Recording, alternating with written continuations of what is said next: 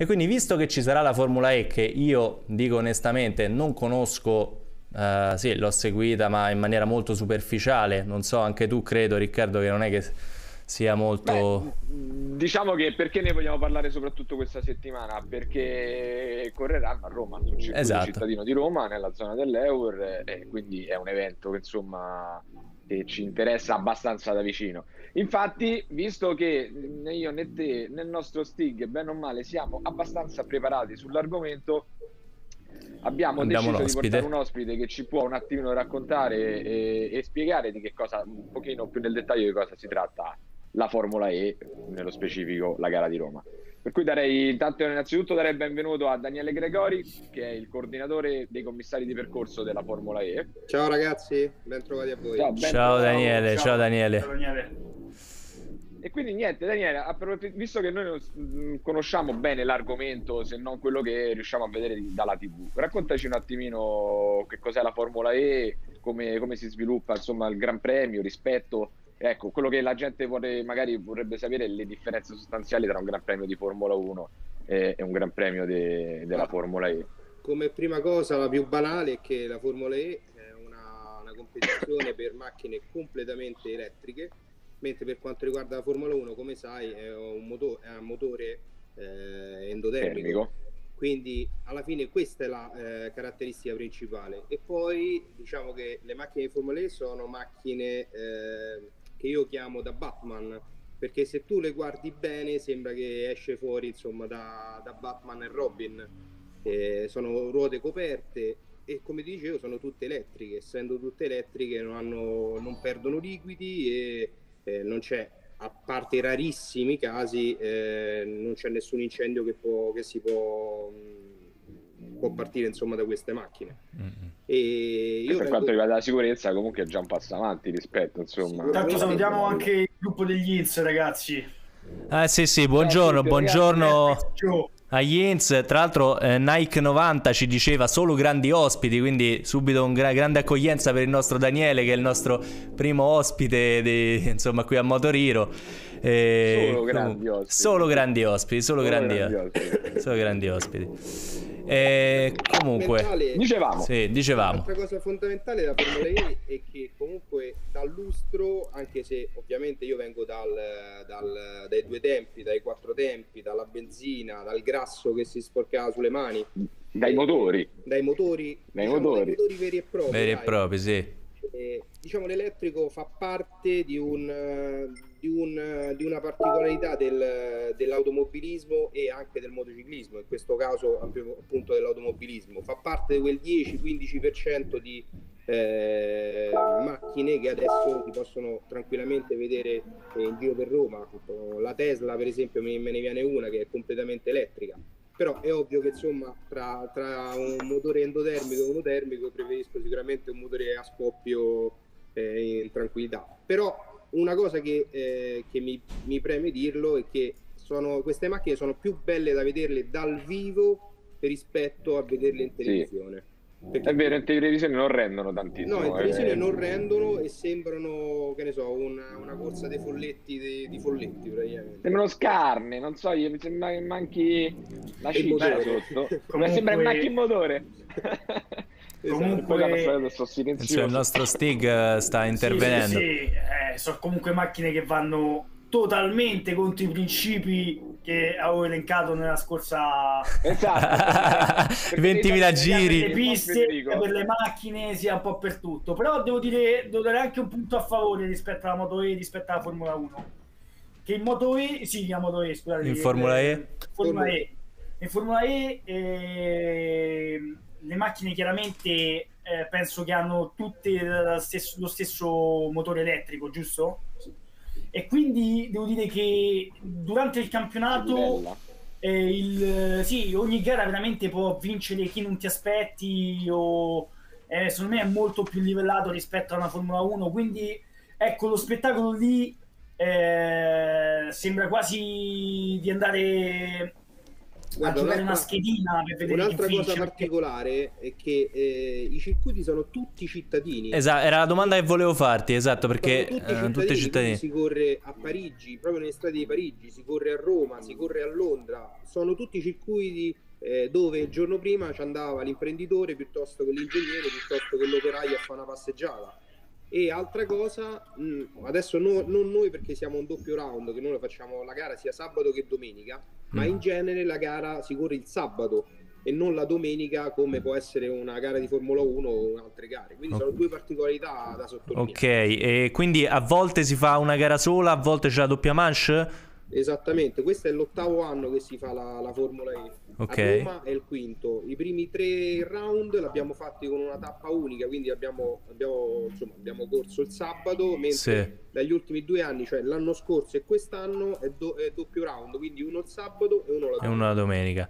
E, ma c'è una griglia invertita per la seconda quando si fa o è classica... No, allora, eh, venerdì, questo venerdì, quindi venerdì sì. 8 ci saranno, c'è uno shakedown. Sabato 9 ci saranno prove libere, qualifica e gara 1. Ok. Domenica 10 prove libere, qualifica e gara 2. Ah, quindi si fa una qualifica per la gara 1 e una qualifica per la gara 2. Esattamente. Ok. Esattamente. Cosa interessante. Okay, interessante, sì, doppia quindi qualifica. Non c'è, non c'è il, la griglia invertita. Mh, è come se non fosse successo niente né il sabato né la domenica. Ok, ok, si riparte non sempre da due zero. gare a tutti gli effetti, non solo nel punteggio. Assolutamente Bello, bello. sprint. Allora, devi sapere, stavo dicendo che il buon Federico, il nostro Stig del simulatore, aveva fa- avanzato una proposta la settimana scorsa che secondo lui le Formula 1 lui proponeva di farle tornare dei motori V10 col cambio manuale senza controlli di, di, di, trazione, senza elettronica, praticamente tornare a 40 anni fa. No, aspetta, posso aggiungere una cosa? Posso aggiungere una cosa? Adesso, visto che, ci sta, visto che c'è la, la Formula E, perché il motore della Formula 1 deve essere quell'ibrido fatto in questa maniera? Che senso avrebbe? Mm, mm. C'è la Formula E che sponsorizza il motore elettrico. Sì. Però... Dobbiamo... Cioè, che senso c'ha di accop... fare questa specie di accoppiata che non ma facci tornare a sentire quando passavano a 20.000 giri che tu devi mettere i tappi nelle orecchie. Cioè, quello io voglio vedere, io quello voglio vedere. Il discorso di cui sopra. No, diciamo cioè, che la Formula E, la Formula E può essere quello che cioè, la tecnologia ci offre. La Formula 1 manteniamola di un certo livello. Beh, sicuramente vedere una, una Ferrari eh, che gira adesso rispetto alla Ferrari che del, del povero Schumacher di una ventina d'anni fa era sicuramente tanta roba quei V8 e V10 che aspirati che, che, facevano un bel po' di casino era sicuramente tanta roba. E anche qui dove mi trovo adesso a Valle Lunga l'abbiamo ospitati per fare un, dei test era uno spettacolo, veramente uno spettacolo vederli e sentirli anche. Eh, Pepitox, ragazzi. Sì, salutiamo Pepitox e anche latte, eh, latte, di mandorla 99 che anche lui è la prima volta che eh, compare nella nostra segue. chat. Esattamente quindi un saluto anche a lui. Ciao, ciao ragazzi. Ciao, è, è, un piacere avervi qui con noi in questa diretta in cui stiamo parlando di moto e di Formula E, appunto, stiamo parlando di Formula E. Beh, ehm, non so Io se mi aggancerei okay. a questo punto al, al, al circuito, cioè, perché la, a Roma si sente parlare già tantissimi anni del circuito di Formula 1 a Roma, dai tempi boh, forse di Alemanno addirittura? Beh sì, eh, all'epoca c'era Alemanno che l'aveva sponsorizzata tramite Flammini, la Flammini Group che era l'ex... L'organizzatore della Superbike. Ciao Cici! L'ex organizzatore della Superbike. Infatti la Formula E ricalca quelle strade che Flammini aveva ipotizzato. Ma secondo te è ipotizzabile un futuro in Formula 1 per Roma?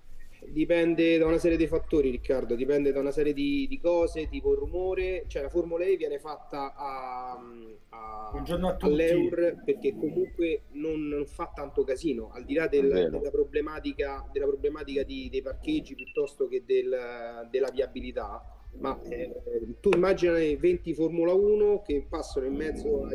È vero, però è il problema che sia a Monaco, che sia in Cina, che sia in tutti i circuiti cittadini tecnicamente. Sì, sì, magari lì ci, sarà, ci saranno anche un problema forse meno economico rispetto a ospitarlo a Roma. Oh, ok. Questo è un discorso. Però la prima cosa, sicuramente, al di là del fatto economico, è il fatto del rumore. Il rumore che comunque, anche se non sono più i V8 e V10 di una volta, ma sono comunque motori differenti, la problematica comunque rimane dentro, dentro l'euro, che poi magari con un sostanziale aiuto economico, forse si riesce anche a bypassare questa cosa. Mm-hmm. Perché comunque poi c'ha un indotto, un gran Beh, premio di Formula tu 1. Pensa, tu pensa, solo io, e, mh, solo io gestisco 200 persone come commissari di percorso, solo loro. 200 per, commissari di percorso vengono dalla, dalla Sicilia, dalla Toscana, dall'Emilia Romagna, dal Mugello e dalla Puglia. Quindi ti dico, solo loro comunque devono mangiare, devono dormire, eh, prendono la macchina, spendono benzina, per poi un, un, un rimborso spese che fa sì che insomma è il gettone di presenza. Comunque certo. eh, tutta la Formula E c'è qualcosa come 1500-1600 persone che di staff muovono. tra chi monta, chi smonta, chi, gli operatori dei Manitou che sono i trattori, le, gli operatori delle ambulanze, degli antincendio, si porta dietro Insomma, un carrozzone. Eh, per cui genera un indotto, immagino, anche dal pubblico, insomma, la gente che viene da fuori, gli alberghi, i ristoranti, insomma... Ristoranti, io... alberghi, certo, certo, assolutamente. Oltre al lustro, perché comunque bene o male essere... Comunque volevo dire a Daniele che ha una grande somiglianza con Davide Giuliano, non so se siete d'accordo. Sì, sì, è vero, è vero, assolutamente. Manca a farla apposta, è scritto gente, penso. Esatto. Tra l'altro. È scritto gente. Perché da... tutto ciò, il sì. caro Daniele, avremo occasione poi di, di, di di, di approfondire l'ospite in ah, altre vero. occasioni, okay. sì, di approfondire, però sì. insomma lui nasce con le due ruote sostanzialmente, okay. eh, per cui ci, ci, abbiamo tantissime storie da raccontare di piloti, di uomini e di situazioni che, ripeto, non mancherà occasione, non è questo okay. il contesto giusto, però ecco, hai, hai, nominato un Davide Giuliano che è una persona che entrambi conosciamo bene, lui ancora, ancora meglio, eh, e quindi niente. Io avevo per vari argomenti. Avevo una domanda eh, per Daniele eh, il passaggio completo all'elettrico. Eh, che impressione c'è nell'ambiente? Cioè, c'è questa eh, idea di prima o poi passare definitivamente all'elettrico per quanto riguarda le quattro ruote? E se sei eventualmente favorevole o no. Perché, per esempio, ho letto una recente intervista di Jorge Viegas, che è il, per quanto riguarda le due ruote, è il presidente della FIM, quindi della Federazione Internazionale. Lui parla addirittura nel 2030 di passaggio definitivo all'elettrico, che sembra assurdo no, a dirlo oggi. Devo, non sono le quattro ruote. Sincero, mm. Devo essere sincero, non credo, non credo al passaggio definitivo entro il 2030 del, dell'elettrico. Okay. Uno perché comunque non c'è, almeno per quanto riguarda in Europa, la cultura dell'elettrico. Sì. come sai, la cultura si, si protrae 10 anni in 10 anni. Quindi dentro il 2030 stiamo adesso al 2022, la vedo molto ma molto difficile. E poi oggettivamente ci sono ancora, anche se sporadici, eh, dei ragazzi che comunque hanno eh, 16, 17, 15 anni che gli piace ancora eh, sentire il rumore dei motorini piuttosto dei, dei 50 piuttosto che 125 certo. scarico aperto e cose del genere. Per certo. fortuna. Per sì, fortuna, infatti, cioè. infatti. Bravi, beh, bravi. beh, oggi parlare di questo sembra veramente assurdo, eppure c'è qualcuno che probabilmente ci sta pensando ora. Eh... Ma ti ripeto, come ho detto prima, fa parte di una percentuale limitata di scelte. Non, eh, sicuramente, come ho detto all'inizio, non, io vengo dal, come diceva Riccardo, direttamente dalle due ruote, due tempi, quattro tempi, sporche, mani sporche di grasso. Quindi mi piace tuttora, anche se sono un direttore di gara, mi piace tuttora mettere le mani sulla mia moto. Io certo. Kawasaki 900.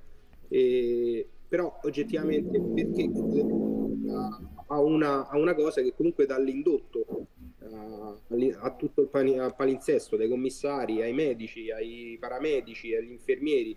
Diciamo che è una Sono d'accordo con Pepito dalla chat, scusatemi. Sì, sì. Dice, direi che non c'è paragone. Non c'è paragone, beh, certo, certamente. Ah, beh, penso, penso che... siamo tutti d'accordo.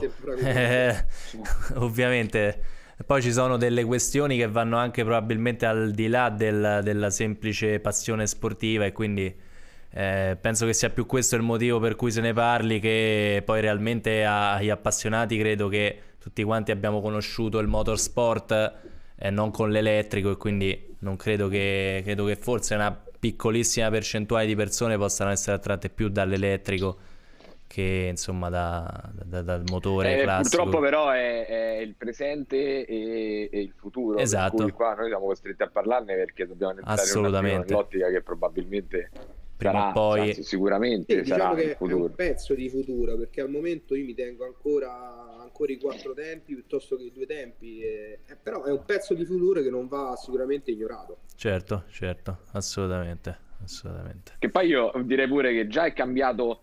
Uh, già il passaggio dai due tempi ai quattro tempi oggettivamente è stato abbastanza traumatico perché è sparito tutto un, un settore perché noi chi si ricorda le gare con i due tempi di tanti anni fa si ricorda le nottate prima di un gran premio con i meccanici alle 2 alle 3 di notte con i motori accesi per fare le carburazioni perché probabilmente eh, avevano smontato un pistone rimesso un pistone nuovo fatto motore io ricordo che quando correvo in 125 nella sport production nel campione italiano noi e comunque era un campione italiano non era un mondiale ma comunque voglio dire eh, l'attenzione era era molto Forse alta la preparazione. Modo, regolamenti c'era ancora grandissima attenzione perché dovevi tirare fuori qualcosa di più nonostante il limite che ti, loro ti, ti, ponevano. Esatto, perché comunque la sport production ricordiamo che sono modi di derivazione stradali, le, le, vecchie Aprilia RS 125 che avevamo insomma in molti, e noi in un gran premio che partiva il, diciamo il giovedì, diciamo il venerdì, il venerdì si faceva col motore della gara successiva, il venerdì sera i meccanici tiravano giù il banco, si cambiava il pistone. Della gara precedente. La domenica scorsa avevi corso, il venerdì fai le prove libere, si facevano le prove libere con quella configurazione di motore. La sera si tirava giù per le due turni di qualifiche del sabato c'era un pistone nuovo che andava rotato il venerdì notte. Fine i due turni di qualifiche, un pistone nuovo per la gara della domenica, il warm up. Warm up che poi in realtà non si faceva, per cui ci si ritrovava ogni sera ogni, a smontare un motore, metterne su un altro che poi non è togliere il blocco e mettere il blocco, si, si, tratta di aprirlo, cambiare pistone, fascia e tutto quanto, e alle due di notte sentite qualche box o qualche tenda, rum, rum, rum. Mm. vi porterò qualche video, ce li ho qualche video antichi, sentivi da una parte c'era una tenda di uno che russava e dall'altra parte una moto accesa a fare una carburazione alle due di notte con, quel, con quell'odore acre che ti, che ti pungeva e soprattutto Lo, anche... ecco bravo. Eh, eh, l'odore del due tempi eh. soprattutto dei GP che avevano quei, quei, quelle, quelle, benzine quegli col oli. col fumo, col fumo denso sì, sembra olio di ricino l'odore eh, già quello è stato tanto traumatico perché si è, spar- si è sparita la, la, la, carburazione a tutti gli effetti o perlomeno quella fatta di orecchio e occhio e, e vitarella del, della benzina e dell'aria. È sparito quell'odore. Eh, insomma e parliamo già ormai di 20 anni fa. Era perché le prime MotoGP iniziano nel 2002 eh sì sono 20 anni adesso. sì sì 2002 2002 c'è stato un anno che ha eh. fatto 500 in modo GP esatto il modo, il 2002, era 2002 era 2002 2003 sì. esatto. Che c'era la, il mondialito di Barros il mondialito, abbiamo, sì ultime quattro gare. la scorsa. Sì, sì. ultime gare perché Barros correva in 500 poi siccome andava forte gli hanno dato Esatto. Uh, l'HRCV 212 l'RCV 211V sì esatto. 11V sì sì 211V era, era compagno Capirossi, aveva, esatto. Che già aveva il quattro tempi. no, no, no, Capirossi aveva, credo che avesse... No, no, credo che avesse il due tempi. Ma doveva andare in Ducati, quindi gli hanno dato a due tempi e non gli hanno mai esatto, fatto Esatto, solo a Barros hanno dato poi la... Ah, giusto, hai ragione, hai ragione. E Barros vinse il mondialito di un punto su Rossi, questo sì, è da sottolineare. Sì, eh. Il team di Sito Pons. Barros sì. fece due vittorie, un secondo e un terzo, mentre Rossi un primo e tre terzi, quindi per un punto Alex Barros campione del mondialito. Vinse una bella pizza. una bella pizza, esatto, perché... Ah, mi sembra che Riccardo aveva la tuta di, sì. di quella quell'anno di, di Capirossi, no? Io sì, eh, se volete ve la posso anche far vedere. Cioè, avevo la tuta di Capirossi, poi vabbè, eh, le grafiche negli anni sono un pochino cambiate, avevo esattamente quella tuta. Sì, perché... Nera, bianco. Bianco e nero. A prendere, va? Va bene, va bene. No, dicevo, avendo difficoltà economiche, Rossi e Barros si sono giocati la pizza perché a uno dei due eh, serviva che gliela offrisse l'altro, quindi giustamente Barros si è... vedere se quella tuta che c'è adesso Riccardo gli sta ancora, perché non lo so. Eh, sì, tre volte mi sa questa tuta. Interessante allora. osservazione, direi.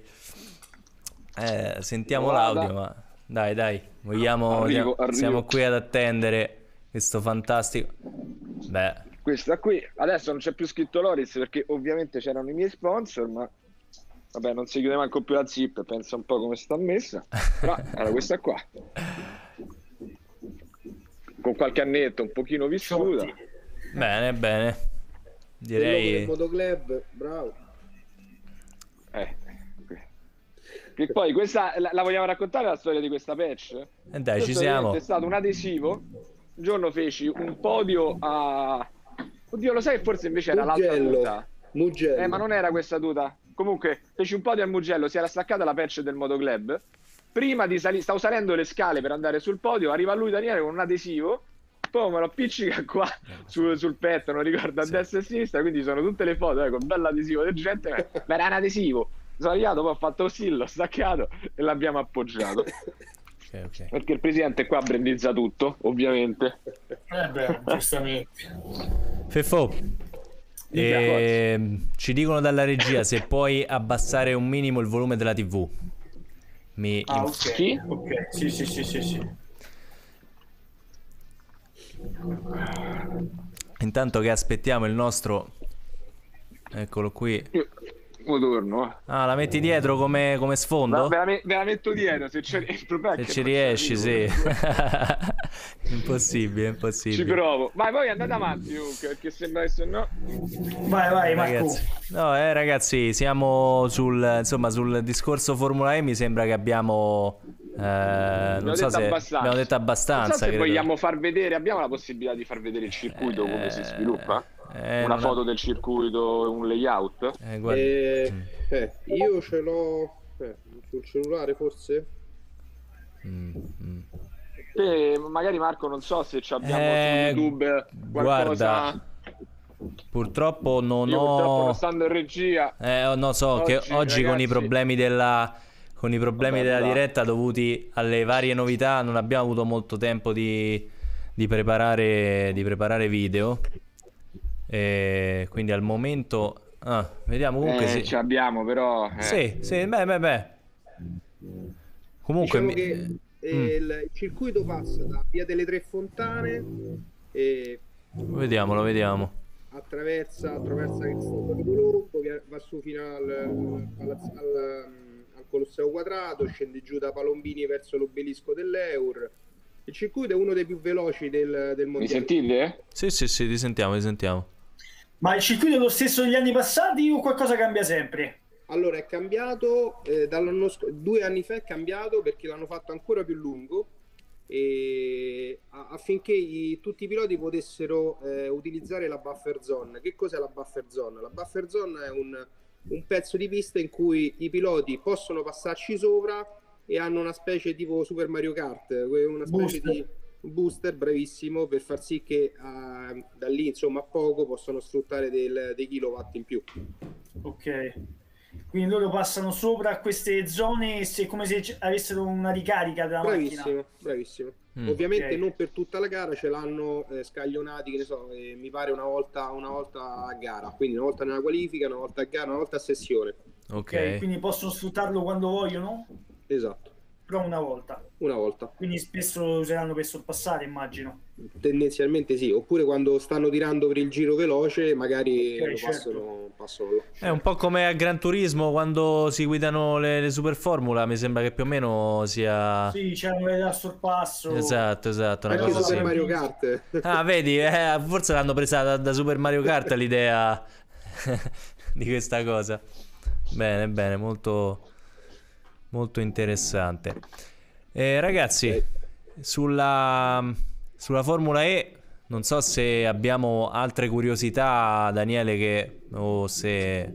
Ma l'unica cosa che mi viene da dirti, eh, dato che comunque eh, li gestisco io in primis, eh, il fatto che un, un, evento del genere, un evento mondiale del genere, colga, eh, no, al di là di tantissime persone che ci lavorano, qualcosa come 200 commissari, sparsi in tutta Italia e che da tutta Italia, ti ripeto, dalla Sicilia, dalla Calabria, dalla Campania, dalla Toscana, dall'Emilia Romagna e dal Mugello vengono a vedere un, e a lavorare in un, in un evento del genere percependo comunque un rimborso spese eh, costante pioggia, la possibile, eh, possibile sole, il possibile evento, tutte le temperie possibili e immaginabili, è una cosa che comunque inorgoglisce sia la nostra, comunque la nostra città, che comunque dà comunque un, un, una pubblicità non indifferente, e comunque inorgoglisce insomma anche questo, questa sezione di, di, di Lunga che è la, la parte in causa insomma del, della partecipazione di questo evento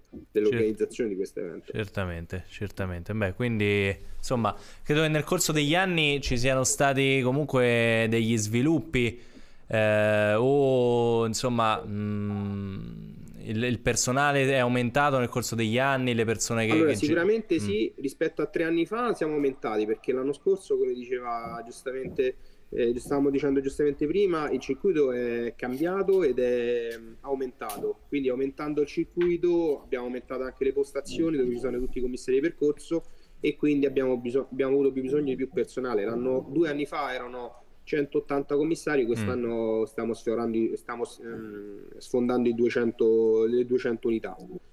Però per ovvie ragioni una buona parte sono del circuito di Varelunga di commissari, per altri ci, ci vengono insomma, forniti okay. e ci aiutano altri, altri, commissari di percorso di altre okay. regioni.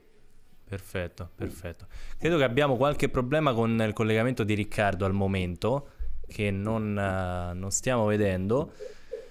E... Eh, palla, no. Sì, al momento non lo vediamo. Comunque, speriamo la regia ci sta, uh, sta provando in tutti i modi a ripristinare il più breve tempo possibile. Non so, tu, Daniele, sapevo che verso quest'ora eri sì, impegnato. Infatti, vi volevo salutare perché uh, finivo di fare la gestione dei, mm, per quanto riguarda pass, furgoni e cose del genere e andavo all'euro direttamente a mettere Perfetto. a posto il personale. Perfetto, allora Eccomi.